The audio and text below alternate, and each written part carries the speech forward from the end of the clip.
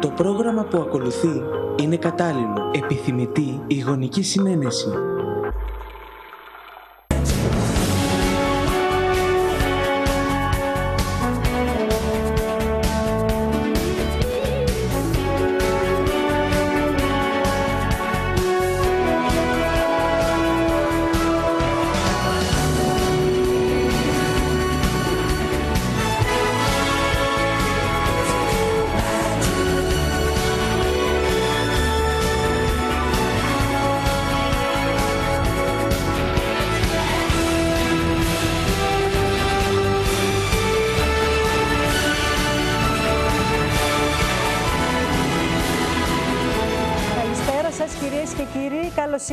Και σήμερα. Σήμερα, Τρίτη, 6 Φεβρουαρίου, η θερμοκρασία στους 8 βαθμούς ε, Κελσίου. Η μέρα το πρωί ήταν πολύ ζεστή. Τώρα, πριν από λίγο, αισθανόμαστε έτσι λίγο πιο πολύ το κρύο. Ωστόσο, είναι πολύ ωραίος ο καιρός για την εποχή που διανύουμε. Η ώρα είναι 3 και 3 πρώτα λεπτά. Να περάσουμε γρήγορα γρήγορα στην θεματολογία μας. Το δεύτερο μέρος θα είναι κοντά μας. Η κυρία Διαμάντο Κριτικού. Η κυρία Διαμάντο Κριτικού είναι πρόεδρος του Αγροτικού Συλλόγου Αμυντέου και μέλος της Γραμματείας της Πανελλαδικής Επιτροπής Μπλόκων. Χθες είχαν και την, την συνάντηση με τον Υπουργό στην Αθήνα. Θα μας πει όλα τα νέα. Στο πρώτο μέρος θα έχουμε όλους τους ε, ανταποκριτές μας από τους τέσσερις νομούς. Είναι ήδη δίπλωμα ο Βαγγέλης ο Χριστόδουλος. Οπότε πάμε στις σημαντικότερες ειδήσεις και επιστρέφουμε. Αναταραχή προκαλεί στο πολιτικό σκηνικό η υπόθεση Νοβάρτης, καθώς η δικογραφία διαβιβάζεται στη Βουλή. Στην υπόθεση φέρονται να εμπλέκονται πρώην Πρωθυπουργοί και οκτώ πρώην Υπουργοί. Πρόκειται για μεγάλο διεθνές σκάνδαλο και η διερεύνησή του γίνεται σε πολλές χώρες ε, σε ό,τι αφορά την ελληνική περίπτωση. Την ε, διερεύνηση την ξεκίνησε το FBI και την συνεχίζει η ελληνική δημοκρατία. Άρα είναι λίγο δύσκολο να πει κανείς ότι είναι μια συνωμοσία του, του ΣΥΡΙΖΑ και μια σκευωρία προκειμένου να θίξει τους πολιτικούς του αντιπάλους.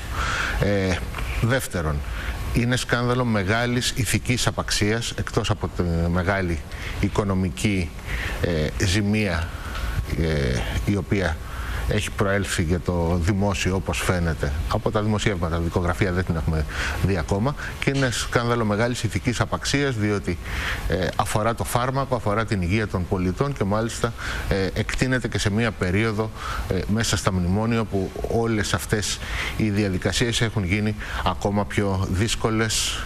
Αύριο θα καταθέσω μήνυση και στον κύριο Παγγελόπουλο και στον κύριο. Ο κύριος Ζακόπουλο δεν έκανε σχετική δήλωση και δεν ξέρω, θα το δω. Και σίγουρα στην κυρία Εισαγγελέα. Εάν η κυρία Εισαγγελέα έχει προχωρήσει σε μερική άτυπη ενημέρωση στον κύριο Παγγελόπουλο, όπως ο κύριος Παγγελόπουλος ισχυρίστηκε, τότε έχει και η κυρία Εισαγγελέα και ο κύριος ε, Υπουργός παραβιάσει το Σύνταγμα και θα πάνε φυλακή. Και οι δύο. Το Σύνταγμα είναι υπεράνω εισαγγελέων και υπουργών. Πάντως, και κύριε... οι εισαγγελείς είναι και αυτοί υποχρεωμένοι να υπακούν στο Σύνταγμα. Κύριε... Θέλω να πιστεύω ότι η κυρία Τουλουπάκη δεν έχει παραβιάσει το Σύνταγμα και δεν έχει προχωρήσει σε μερική άτυπη ενημέρωση όπως ισχυρίζει ο κ. Βαγγελόπουλος. Είναι δίπλωμο Βαγγέλης ο Χριστόδουλος για όλες τις ειδήσεις της ημέρας.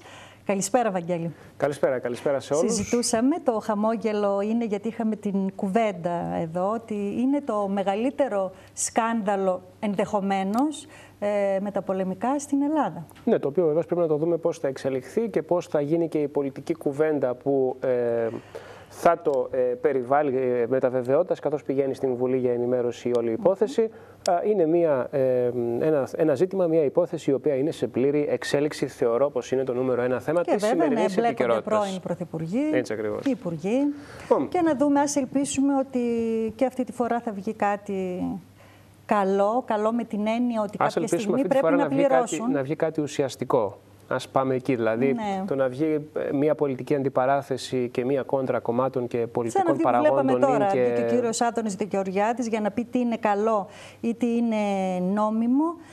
Τον κόσμο, τον απλό πολίτη, δεν τον ενδιαφέρουν αυτά, ούτε οι, οι διαδρομές που κάνουν ώσπου να φτάσουν στην δικαστική διερεύνηση. Όχι, αν θες, τον ενδιαφ- πολίτη τον, τον ενδιαφέρει τι είναι νόμιμο να και καλό. πληρώσει. Ναι, το, Αλλά το να νόμιμο. προκύψει από το- Ακριβώς, από το το αν είναι φορέα ο οποίος νόμιμο, το αν έχει άνοιξε τον υποχρέωση να φάκελο ο βγάλει. υπουργός ή όχι, ποσό τον ενδιαφέρει τον πολίτη. Τον πολίτη τον ενδιαφέρει να πληρώσουν όλοι αυτοί οι οποίοι ζημίωσαν την χώρα και καλό θα είναι και αυτό να διαλευκανθεί και να διαλευκανθεί πολύ σύντομα. Γιατί όλοι αυτοί βρίσκουν τρόπους με δεδαλώδεις έτσι, ε, μέσα από δεδαλώδεις καταστάσεις να διαφεύγουν, δυστυχώς. Ας ναι. ελπίσουμε ότι αυτή τη φορά θα πληρώσουν. Λοιπόν, πάμε στην υπόλοιπη επικαιρότητα της ημέρας. Ε, θα ασχοληθούμε καταρχήν με ένα ζήτημα που αφορά ε, εν μέρει το οικονομικό ε, ρεπόρταζ, και έχει και μια πολιτική έκφανση και αυτό. Θα είδαν οι φίλοι τηλεθεατέ που ακολουθούν το δελτίο ειδήσεων του Flash ε, χθες την εξέλιξη με την ενεργοποίηση της ηλεκτρονικής πλατφόρμας για υποβολή αιτήσεων για την ρύθμιση την γνωστή των 120 δόσεων για ελεύθερους επαγγελματίες. Πολύ αναμενόμενο. Μια... Ναι, γιατί αφορά μια πολύ μεγάλη γκάμα ανθρώπων, επαγγελματιών κάποιων κλάδων, οι οποίοι έμεναν εκτός ρύθμισης αυτής και, και οι οποίοι. την περίμεναν. Ακριβώς, ακριβώς. Ναι. Ε, Χτες είδαμε την πολιτική διάσταση της είδησης. Είχαμε φιλοξενήσει τον ε, βουλευτή ΣΥΡΙΖΑ ε, Κοζάνη, τον κύριο Δημητριάδη. Σήμερα πάμε να δούμε την πιο τεχνοκρατική διάσταση της υπόθεσης, να δούμε και χρηστικές πληροφορίες για όσους ενδιαφέρονται να ενταχθούν σε αυτήν την ρύθμιση. Πάμε λοιπόν να δούμε όσα πρέπει να γνωρίζει ε, κανείς για τη ρύθμιση αυτή, ποιους αφορά και ποιες είναι μερικές σημαντικές προποθέσει για υπαγωγή σε αυτή. Χρήσιμο, πάμε να το δούμε. Οι ελεύθεροι επαγγελματίες μπορούν από σήμερα να προσφεύγουν στον εξοδικαστικό συμβιβασμό ρύθμισης οφειλών κάνοντας αίτηση στη σχετική ηλεκτρονική πλατφόρμα. Την εξέλιξη ανακοίνωσε το Υπουργείο Οικονομίας και Ανάπτυξης. Η ρύθμιση αφορά οφειλές προς την Ανεξάρτητη Αρχή Δημοσίων Εσόδων και τον ενιαίο Φορέα Κοινωνικής Ασφάλισης. Προπόθεση ένταξης στη διαδικασία είναι ο ελεύθερος επαγγελματίας να έχει επιτύχει κέρδη πρώτοκων φόρων και αποσβέσεων μία φορά κατά την τελευταία τριετία, να αξιολογείται ως βιώσιμη και συγκεκριμένα να είναι έως το πολύ 8 φορές μεγαλύτερη του ετησίου εισοδήματος του οφειλέτη. Οι ρυθμίσεις περιλαμβάνουν κούρεμα τόκων, προστήμων και προσαυξήσεων, καθώς και επιμήκυνση της εναπομείνασα οφειλής έως 120 δόσεις. 5 Φεβρουαρίου 2018 ενεργοποιήθηκε η πλατφόρμα για τη ρύθμιση των 120 δόσεων. Προκειμένου να ενταχθεί κάποιος στη πλατφόρμα αυτή, θα πρέπει να είναι ελεύθερος επαγγελματίας ή έμπορος, θα πρέπει να έχει έναρξη στην Ελλάδα και φορολογική κατοικία στην Ελλάδα και τουλάχιστον μία από τις τελευταίες τρεις χρονιές να εμφανίζει καθαρά κέρδη προφόρων και τόκων τέτοια ούτως ώστε να του επιτρέπουν να ενταχθεί μέσα σε αυτή τη ρύθμιση. Όπως αντιλαμβανόμαστε είναι μια αρρύθμιση στην οποία δεν θα μπορέσει να ενταχθεί η πλειοψηφία των ελληνικών επιχειρήσεων οι οποίες τα τελευταία χρόνια ε, που μαστίζονται από την κρίση εμφανίζουν ε, ζημίες. Για όσους όμως ε, μπορέσουν να ενταχθούν στην ευεργετική αυτή ρύθμιση, οφείλουμε να πούμε ότι θα πρέπει να συγκεντρώσουν περί των 21 δικαιολογητικών. Θα πρέπει η ρύθμιση αυτή θα χάνεται εάν και εφόσον καθυστερήσουν να πληρώσουν τρεις δόσεις, αν δεν έχουν πληρωμένα ή ρυθμισμένα τις οφειλές οι οποίες προκύπτουν μέσα στο 2017 και επίσης δεν θα πρέπει να αφήνουν χωρίς να υποβάλουν στην φορολογική αρχή ή σε οποιαδήποτε άλλη αρχή τις φορολογικές τους δηλώσεις, τα ΦΠΑ και οποιοδήποτε άλλο έντυπο θα πρέπει να υποβληθεί να ενημερώσουμε ότι στη ρύθμιση αυτήν εντάσσονται ότι οφειλές έχουμε μέχρι 31 Δεκεμβρίου του 2016 και μπορούμε να μπούμε μέσα στην ηλεκτρονική πλατφόρμα μέχρι τις 31 Δεκεμβρίου του 2018 προκειμένου να υποβάλουμε την ε, αίτησή μας. Η εμπειρία τι λέει, υπάρχει ε, μεγάλο φιλτράρισμα και άρα λίγες επιχειρήσεις ε, πληρούν τα κριτήρια; Ακριβώς, ακριβώς. Υπάρχει πολύ μεγάλο φιλτράρισμα με μεγαλύτερο αυτό που θέτει ότι το κέρδος τουλάχιστον από μία από τις τελευταίες τρεις χρονιές θα πρέπει να είναι μεγαλύτερο προφόρων τόκων και αποσβέσεων, πράγμα το οποίο αυτή τη στιγμή στον ελλαδικό χώρο από τα στοιχεία τα οποία υπάρχουν περίπου ένα 70% των ελληνικών επιχειρήσεων δεν πληρεί αυτό το κριτήριο, οπότε και μένουν εκτός ρυθμίσεως.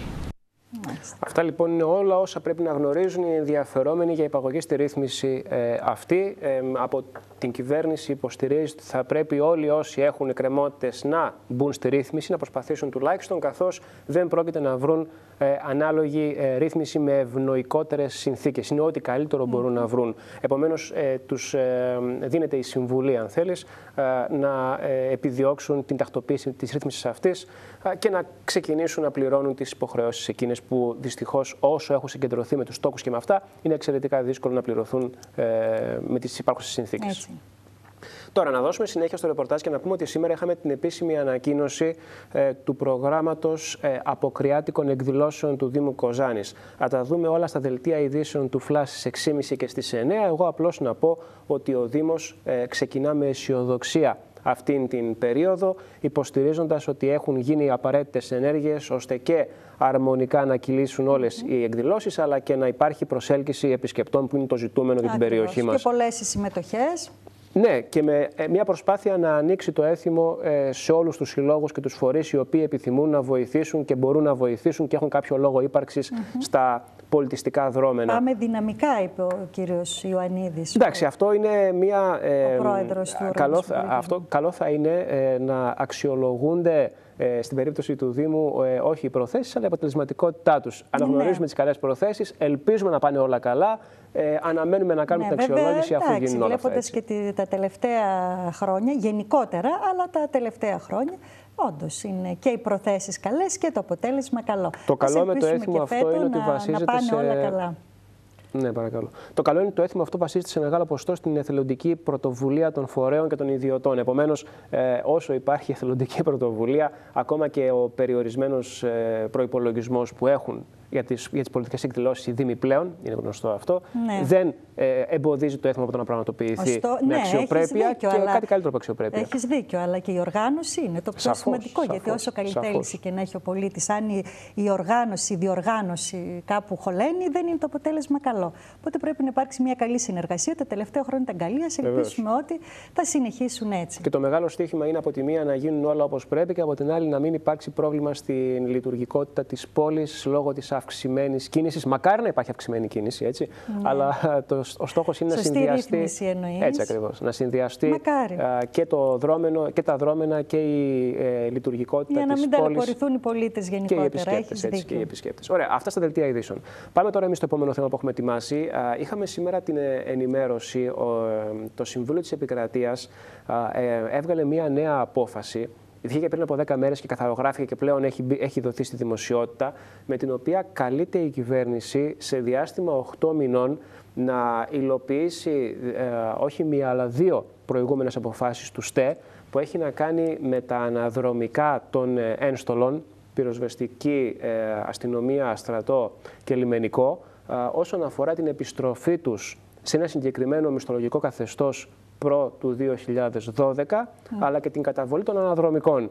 Είναι ένα θέμα το οποίο θα σου είναι σίγουρα γνωστό γιατί ε, έχει πολλές εκφάνσεις συγκεκριμένη υπόθεση. Η τελευταία ε, το τελευταίο επεισόδιο στο Σύριαλ ήταν η απόφαση αυτή του ΣΤΕ που καλεί σε διάστημα 8 μηνών την κυβέρνηση να ανταποκριθεί και να ε, κάνει αυτό που λέει ο νόμος, η απόφαση του Συμβουλίου της Επικρατείας. Ακούγοντας σήμερα ε, σε πανελλαδικά μέσα ενημέρωσης ε, εκπροσώπους της κυβέρνησης υποστηρίζεται ότι με το νέο μισθολόγιο ε, με ευνοϊκότερες ρυθμίσεις που έχει επιβάλει η κυβέρνηση στους ένστολους έχει εν μέρη καλυφθεί αυτήν η υποχρέωση. Οι ένστολοι δεν συμφωνούν με αυτό και ζητούν την άμεση υλοποίηση της απόφασης του Συμβουλίου της Επικρατείας. Όπως διαφαίνεται θα έχουμε συνέχεια σε αυτό που είπες πριν στο Σύριαλ Βαγγέλη. Σωστό. Εμείς θα ακούσουμε τώρα ε, τι δηλώνει για το θέμα ο πρόεδρος ε, του Συλλόγου των Πυροσβεστών Δυτικής Μακεδονίας, ε, ο οποίος ε, και οι πυροσβέστες είναι αυτοί οι οποίοι διεκδικούν την υλοποίηση της απόφασης του Συμβουλίου της Επικρατείας. Ναι, βέβαια, εμείς λέμε για Σύριαλ, αλλά εδώ μιλάμε ότι είναι οικογένειες, είναι οι άνθρωποι βλέπουν το μισθό τους είτε να μειώνεται είτε να, να γίνονται περικοπές.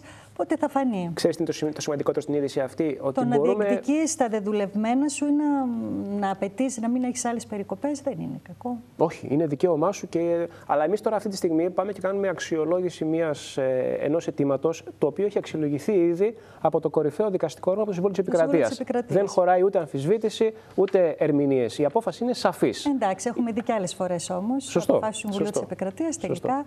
Να ας περάσουμε να δούμε το ρεπορτάζ.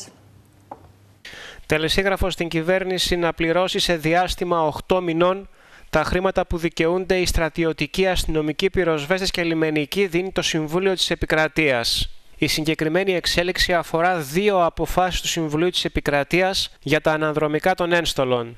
Το Συμβούλιο της Επικρατείας με την πρώτη του απόφαση ε, δικαίωσε τους ενστόλους και είπε ότι πρέπει να επιστραφεί το μισθολόγιο και οι συντάξεις ε, των συναδέρφων μας στα επίπεδα του 2012. Η κυβέρνηση παρά η τότε κυβέρνηση της Νέας Δημοκρατίας με τον Αντώνη Σαμαρά, παρά την απόφαση του Συμβουλίου της Επικρατείας, έδωσε έστω ένα κομμάτι, το 50% των, ε, της διαφοράς των αποδοχών. Τα οποία λήξανε προχτές. Ε, από τότε είχαμε και άλλο μισθολόγιο, άλλο νέο νόμο που πρόβληπε περικοπές στους ενστόλους και ξαναπροσφύγαμε στη δικαιοσύνη και ζητούσαμε να ακυρωθούν και αυτές ε, οι περικοπές.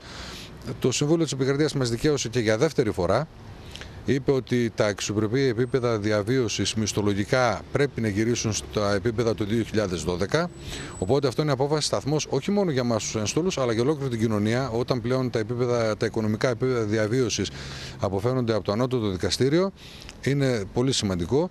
Η κυβέρνηση δεν υλοποίησε, η νέα κυβέρνηση του ΣΥΡΙΖΑ ΑΝΕΛ δεν υλοποίησε τις δεσμεύσεις, τις προεκλογικές δεσμεύσεις και την εφαρμογή της νομοθεσίας από το Συμβούλιο της Επικρατείας με αποτέλεσμα να προσφύγουν οι Ομοσπονδίες στην Επιτροπή Συμμόρφωσης του Συμβουλίου της Επικρατείας τις οποίες πάλι μας δικαίωσε και αυτή η Επιτροπή και μάλιστα ε, έδωσε και επέβαλε και πρόστιμο για μία εφαρμογή της νομοθεσίας του Υπουργείου Οικονομικών ε, ένα ποσό των 200.000 ευρώ για να μοιραστεί στις ομοσπονδίες που είχαν προσφύγει.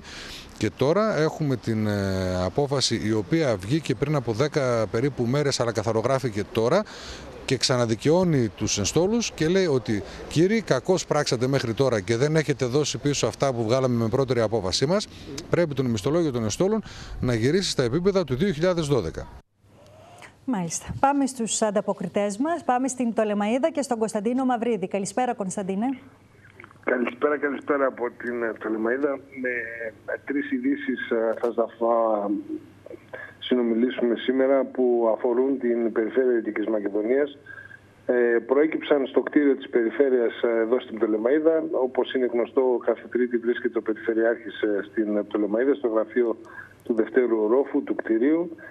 Ε, να σας πω ότι ε, κάθε, τρίτη πραγματοποιεί διαδοχικές συναντήσεις με φορείς και πολίτες της περιοχής. Μεταξύ αυτών ήταν οι ειδήσεις που μας προέκυψαν, όπως για παράδειγμα ότι όπως ανακοινώθηκε και από την Περιφέρεια θα συνεδριάσει την ερχόμενη εβδομάδα, την ερχόμενη Τετάρτη το συντονιστικό για την ΔΕΗ, το συντονιστικό όργανο για την ΔΕΗ που είχε συγκροτηθεί όταν ξεκίνησε η ιστορία των πωλήσεων των μονάδων.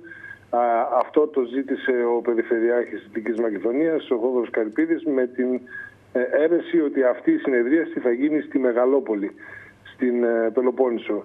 Ε, προκύπτουν ζητήματα, το θέμα προχωράει ε, από ό,τι μας είπε, ε, πρέπει να συζητηθούν και να πάρθουν και οι όποιες αποφάσεις.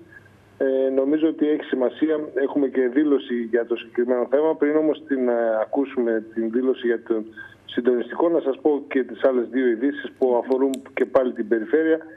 Την, τρίτη, την επόμενη τρίτη θα γίνει ε, η Οικονομική Επιτροπή της Περιφέρειας Δυτικής Μακεδονίας όπου μεταξύ των πολλών θεμάτων υπάρχει και η απόφαση για την η τυπική πια και ουσιαστική μεν απόφαση γιατί η πολιτική απόφαση έχει πάρθει από την προηγούμενη χρονιά για τη μεταφορά των υπηρεσιών της ε, εφορίας, της ΔΟΗ και του πρώην του ΕΦΚΑ ε, στο κτίριο της περιφέρειας στην Πτολεμαίδα.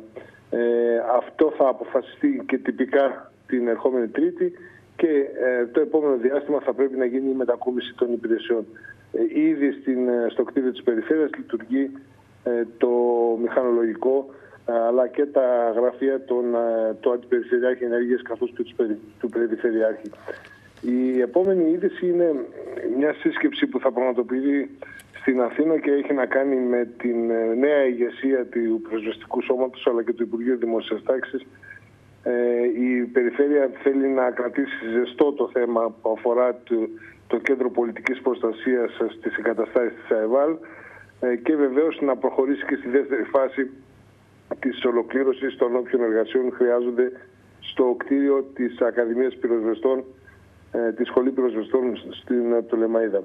Ε, αυτό το κάνει γιατί μετά τις πρόσφατες κρίσεις είχαμε αλλαγή στην διοίκηση, στο αρχηγείο του πυροσβεστικού σώματος και έτσι θα πρέπει ουσιαστικά να επαναεπικαιροποιηθούν οι θέσεις ε, του νέου, της νέας ηγεσίας του πυροσβεστικού σώματος σε σχέση με την περιοχή και τα δύο ζητήματα που αφορούν ε, το πυροσβεστικό σώμα, την πολιτική προστασία και την τοπική κοινωνία της Εορδέας που είναι η ολοκλήρωση των εργασιών σε ό,τι αφορά το κτίριο της ε, πυροσβεστικής, της σχολής πυροσβεστικής για να μην μπερδευτώ και να μην μπερδέψω και σε ό,τι αφορά το, τις εγκαταστάσεις για την εκπαίδευση του Κέντρου Πολιτικής Προστασίας στην ΑΕΒΑΛ που εκεί ε, επιχειρείται να γίνει ένα διεθνές κέντρο εκπαίδευσης, ένα από τα τέσσερα που υπάρχουν στην Ευρώπη, με την ε, Έλληνο-Γαλλική ε, συνεργασία. Μάλιστα ο κ. Καρυπίδης μας είπε ότι σκοπός της περιφέρειας είναι αυτό να γίνει σε υψηλότατο επίπεδο και αν είναι δυνατόν να εγκαινιαστεί από τους αρχηγούς των δύο κρατών όταν το κέντρο θα ολοκληρωθεί. Μάλιστα. Αυτά, Κωνσταντίνε. Να σε Αυτά. ευχαριστήσω. Να δούμε την είδηση ναι, που... Ναι, θα περάσουμε. Να σε ευχαριστήσω πολύ. Εμείς θα περάσουμε να δούμε την, για την είδηση που μας είπε ο Κωνσταντίνος πριν για την συνεδρίαση του συντονιστικού, με πρωτοβουλία, του συντονιστικού στην Μεγαλόπολη με πρωτοβουλία του Περιφερειάρχη εδώ, του κυρίου Καρυπίδη. Πάμε να το δούμε.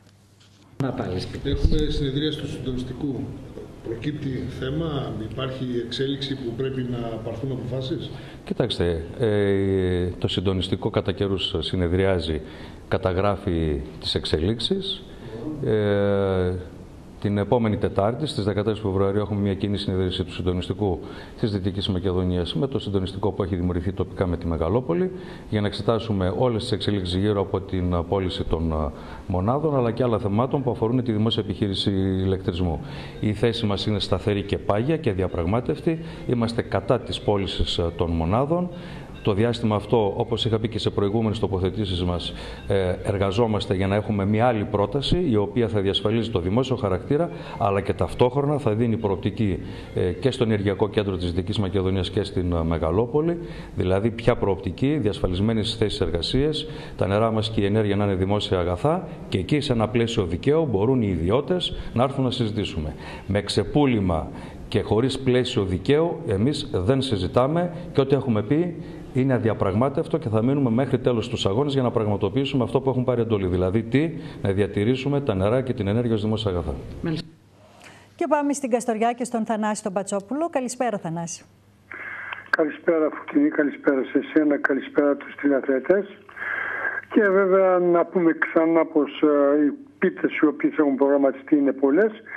Εμείς θα πούμε μόνο για την πίτα του, της του Πασόκ πως σε ξενοδοχείο της πόλης η Νομαρχιακή Επιτροπή του ΠΑΣΟΚ την Παρασκευή 9 Δευτέρου 18 θα κόψει τη Βασιλόπιτα αφού προηγηθεί προηγουμένως η ομιλία του βουλευτή Λακωνίας και πρώην Υπουργού Λεωνίδα Γρηγοράκου.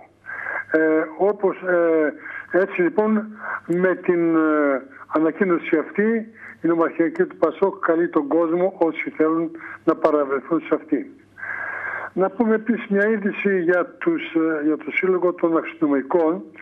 Το ερχόμενο Σάββατο και, στην ιερά, και στον Ιερό Ναό Αγίου Τρίφωνα της Λεύκης η Ένωση Αστυνομικών Υπαλλήλων Καστοριάς θα πραγματοποιήσει επιμνημόσυνο δέηση για τους αστυνομικούς που έχασαν τη ζωή τους κατά την εκτέλεση του καθηκόντου τους και βέβαια προσκαλεί και ο Ένωση Αστυνομικών τον κόσμο να συμμετάχει σε αυτήν την εκδήλωση που θα γίνει από ώρας 9 και 15 και να θυμίσουμε βέβαια πως αυτή η εκδήλωση γίνεται κάθε χρόνο.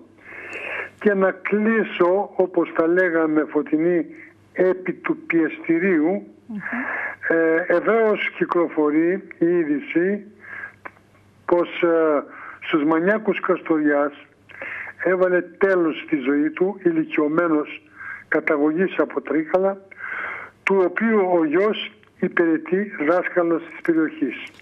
Ε. Τα αίτια και, για τους λόγους δεν έχουμε ακόμα ούτε γιατί ε, έβαλε τέλος στη ζωή του άνθρωπου ο, ο ηλικιωμένος αυτός Ε, αν έχουμε νεότερα, αύριο θα πούμε περισσότερα. Αυτά θα να Αυτά από Καστοριά, καλή συνέχεια. Να σε ευχαριστήσω πολύ. Καλό σου απόγευμα.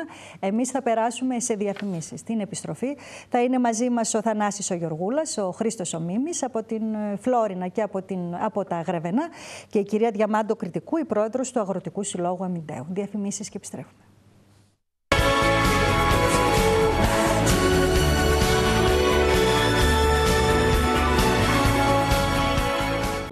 Το πρόγραμμα που ακολουθεί είναι κατάλληλο. Επιθυμητή η γονική συνένεση.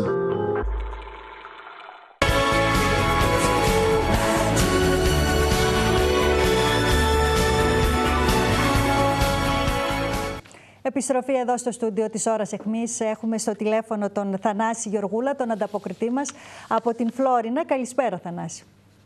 Καλησπέρα Φωτεινή, καλησπέρα από τη Φλόρινα όπου βέβαια χθες δεν είχαμε τη δυνατότητα να συνομιλήσουμε για να πούμε τι ακριβώς συνέβη το Σαββατοκύριακο. Το είχαμε πει όμως την Παρασκευή γιατί αφορούσε ναι. ε, πολιτιστικές κυρίως εκδηλώσεις και βέβαια θα σταθώ για λίγο στην κοπή της Βασιλόπιτας του συνδυασμού του Δημάρχου Φλόρινας, ε, του κ. Βοσκόπουλου, ο οποίος πέρα από το κομμάτι της κοπής της Βασιλόπιτας έκανε και μια εκτενή αναφορά, απολογισμό θα έλεγα, των έργων που υλοποίησε τα προηγούμενο διάστημα η Δημοτική Αρχή.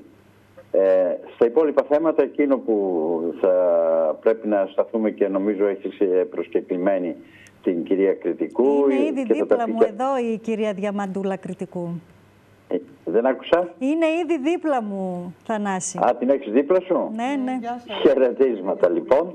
Ε, προφανώς ανακοίνωσε ότι αποχώρησαν τα τρακτέρα από τον μπλόκο του Αντιγόνου διότι υπήρχε μια απόφαση του πανελλαδικού που εν μέρει ικανοποιούσε τα αιτήματα. Δεν ακούστηκε Όπως... Θανάση, αν μπορείς να επαναλάβεις. Λέω ότι όπως αναφέρεις σε σχετική ανακοίνωση που μας ήρθε από τον ε, Αγροτικό Συνεταιρισμό mm. Αμυντέου ναι. που υπογράφει η κυρία Κρητικού ναι. ε, μετά τη συνάντηση που έγινε με τον Υπουργό υπάρχει μια σχετική ικανοποίηση όπως φαίνεται και αποχωρούν τα τρακτέρα από τον μπλόκο του ναι. Αντιγόνου. Θα μας τα πει όλα εδώ η κυρία Κρητικού. Φαντάζομαι, φαντάζομαι. Λοιπόν, από εκεί και πέρα, ε, σήμερα είχαμε την ε, επίσκεψη του Αντιπεριφερειάρχη Φλόρινας του κυρίου Βίρου μαζί με τον Αντιπεριφερειάρχη Ενέργειας στον, ε, στην τοπική κοινότητα Αναργύρων όπου συνεχίζεται η καταγραφή από τη ε, στελέχη, τα υπαλληλικά στελέχη της αρμόδιας υπηρεσίας της Περιφερειακής Ενότητας Φλόρινας για να ολοκληρωθεί έτσι το επόμενο διάστημα ούτως ώστε να προχωρήσει και το θέμα της μετεκατάστασης. Αυτά νομίζω ότι ήταν και τα κυρίαρχα θέματα από την περιοχή μας. Mm Να σε ευχαριστήσω πολύ Θανάση. Καλό σου απόγευμα. Εμείς θα περάσουμε να δούμε ένα ρεπορτάζ που αφορά την ενημέρωση για ζητήματα που αφορούν συνταξιούχους ε, της ΔΕΗ όπως οριστική έκδοση συντάξεων και επιστροφή παρακρατηθέντων από τον ΕΟΠΗ. Πάμε να το δούμε στην ενημέρωση των μελών του για ορισμένα ζητήματα που αφορούν τον κλάδο προχωρά το Σωματείο Συνταξιούχων ΔΕΗ Πτολεμαΐδας. Η ενημέρωση αφορά κάποιες κατηγορίες που δεν έλαβαν τα αναδρομικά των παρακρατηθέντων υπέρ ΕΟΠΗ, αλλά και την οριστικοποίηση προσωρινών συντάξεων. Για τις χείρες που δεν έχουν πάρει τα αναδρομικά τους από τα παρακρατηθέντα παρανόμως υπέρ ΕΟΠΗ, στις 29 Μαρτίου στην εξόπληση του Απριλίου θα εξοπληθούν σε όλες όσοι δικαιούνται τα αναδρομικά τους. Και θα μείνουν μόνο αυτοί που έχουν πεθάνει και έμεσα και άμεσα οι κληρονόμοι. Εκείνη η περίπτωση θα εξεταστεί αργότερα. Με βάση τη εντολή του Υπουργείου. Ερχόμαστε στην, ε, σε αυτά που ακούγονται έξω. Τα περί αλληλεγγύης και τα περί ΕΟΠΗ. Και καλούμε όλους τους συναδέλφους να μην προχωρήσουμε στο θέμα των αιτήσεων γιατί δεν υπάρχει τίποτε το συγκεκριμένο υπάρχουν δύο παράνομες παρακρατήσεις. Η μία είναι 6% στην επικουρική σύνταξη ΠΕΡΕΟΠΗ που είναι παράνομη και ζητάμε σαν σωματείο και σαν ομοσπονδία που κάναμε και αγωγές να επιστραφούν τα λεφτά αυτά από μία νάτου του 2015 και να περικοπεί αυτό το ποσοστό του 6% το οποίο είναι παράνομο. Γιατί η επικουρική σύνταξη δεν έχει ασφάλεια. Το δεύτερο είναι το επίδομα αλληλεγγύης, πορά αλληλεγγύης στην επικουρική μας σύνταξη.